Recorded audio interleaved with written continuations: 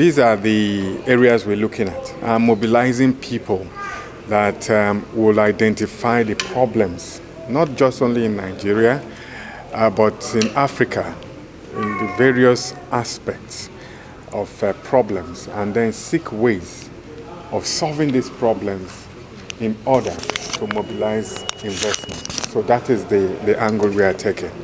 Trade is an important key for development and the EU is the most important trading partner of Nigeria and West Africa. Therefore, the EPA will contribute to diversify West African exports and increase investment opportunities. The program, which is implemented by our uh, partners GIZ, DFID, Adam Smith International, and UNIDO, has three main objectives.